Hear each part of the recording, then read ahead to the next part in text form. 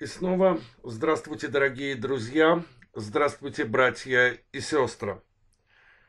В данном видео мы с вами ознакомимтесь с внеочередным расследованием, которое проделал мой, назовемте так, условно, виртуальный друг. Многие из вас его знают, это Гаспар Авакян. Человек, который борется против коррупции – против беззакония в южных регионах Российской Федерации в большей степени. Он неоднократно пересекался, в частности, в своей деятельности с армянской мафией. При этом мафией как из государственных структур, коррупционной мафией, так и с прямыми представителями криминала человек борется против беззакония. И в данном случае он заговорил об ужасающих фактах криминализации государственных чиновников армянской национальности, уж простите меня, в городе Обширонске. При этом я неспроста назвал дан, данное видео, точнее сказать, в названии указан такой момент, такие разные армяне. Гаспар Авакян и те, о ком он говорит, совершенно разные. Ну что ж, давайте прослушаем, о каком таком расследовании я говорю. Что же он расследовал? Город Обширонск. Южный регион России. Приступаем.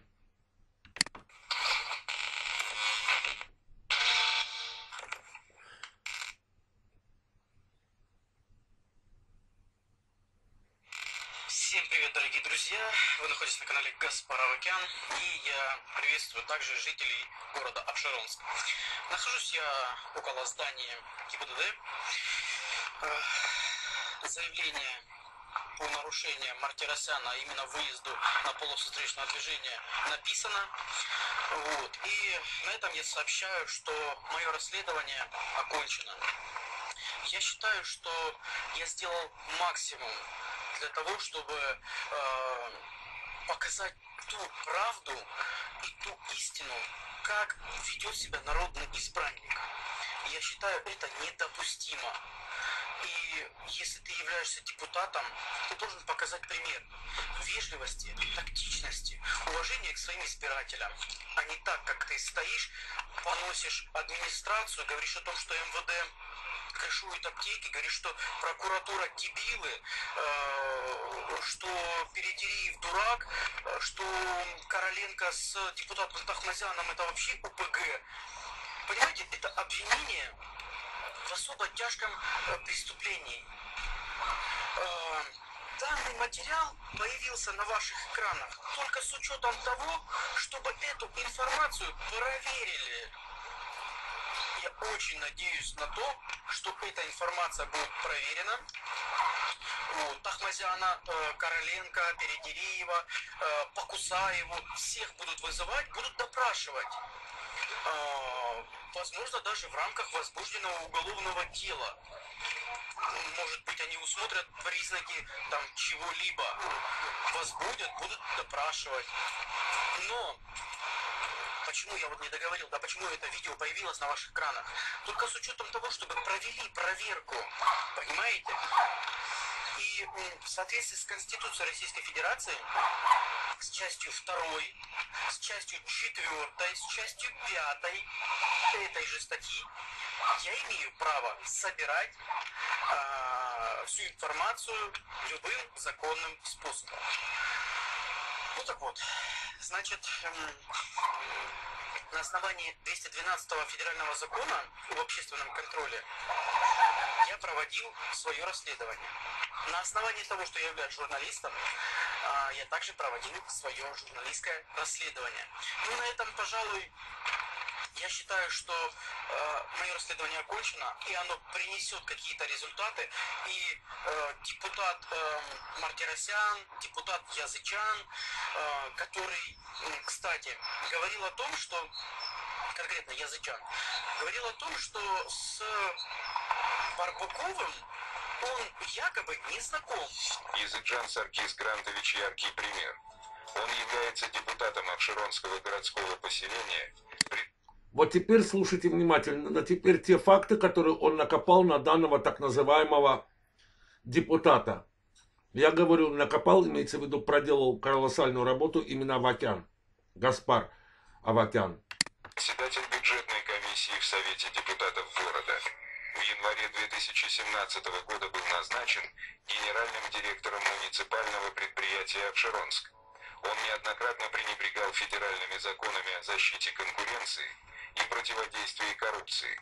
Так, например, в 2017 году им были заключены контракты на услуги по аренде транспортных средств с обществом с ограниченной ответственностью парус на сумму 658 тысяч рублей. Со стороны подрядной организации подписантом являлся Изыджан Александр Саркисович, который является сыном депутата. В период с 2017 по 2018 годы заключил несколько контрактов на сумму 3 миллиона рублей с индивидуальным предпринимателем Анданяном Артуром Ливоновичем, который по настоящее время является учредителем общества «Парус» а сам Саркис Грантович с 24 мая 2015 года по 31 января 2017 года был директором и соучредителем общества «Парус», но это самые скромные цифры и контракты. Ранее в городе Обширонске по санитарному содержанию, вывозу и утилизацию мусора занималось специализированное муниципальное предприятие «Обширонск». В торгах об оказании услуг впервые принимает участие индивидуальный предприниматель Барбуков. Одним из основных условий являлось наличие лицензии на осуществление данной деятельности. На дату подачи заявки УИП Барбукова данная лицензия отсутствовала, а была получена лишь в 2019 году. На протяжении четырех лет ИП Барбуков становился единственным участником торгов на сумму контрактов 65 миллионов рублей. О наличии карательного сговора свидетельствует факт того, что ИП Барбуков в целях выполнения работ по контракту использовал и использует технику, персонал, оборудование муниципального предприятия Обширонск. Офисы диспетчерской службы П. Барбукова находятся там же, где и муниципальное предприятие Обширонск. Имущество было передано без проведения торгов, что является нарушением статьи 15 Закона о защите. Посмотрите, какая ужасная грязь и антисанитария. А кто, а кто получает деньги за уборку? конкуренции. Данные схемы позволили ИП Барбукову заключить контракт по вывозу мусора на сумму 120 миллионов рублей. А теперь самое главное. Руководитель муниципального предприятия Обширонский Языджан Саркис Грантович в марте 2021 года становится управляющим директором ИП Барбукова АВ. В рамках проведения проверки Барбуков Алексей Владимирович пояснил, что зарегистрировался в качестве индивидуального предпринимателя по инициативе своего знакомого Изыджана, так как последнему это было необходимо, что являясь индивидуальным предпринимателем фактически какой-либо деятельности не осуществлял, так как деятельностью предприятия занимался сам Языджан Саркис Грантович. Барбуков только лишь получал ежемесячную зарплату 30 тысяч рублей. С учетом вышеизложенного в действиях Барбукова и Языджана усматриваются признаки составов преступления, предусмотренных частью 2 статьи 171 и 286 Уголовного кодекса Российской Федерации. Используя муниципальное предприятие, депутат умело создал свое личное предприятие. В связи с тем, что имущество муниципального предприятия «Обширонск» без торгов было передано в частные руки, выручка предприятия в 2020 году упала на 51 миллион рублей. Бюджет города упала на 9 миллионов рублей.